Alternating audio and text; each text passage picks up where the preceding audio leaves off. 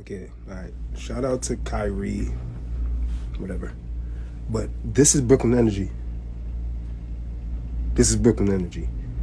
Man said he don't care about LeBron.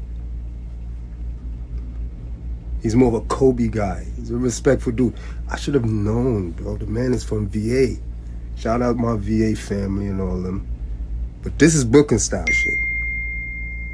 That's you could see, you could see, you could hear the dog, you could see the dog, bro.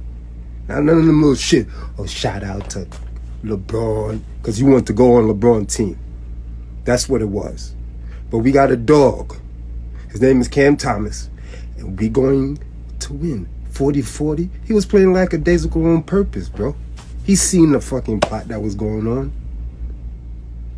Kyrie, boy, I mean, you upgraded playing on KD.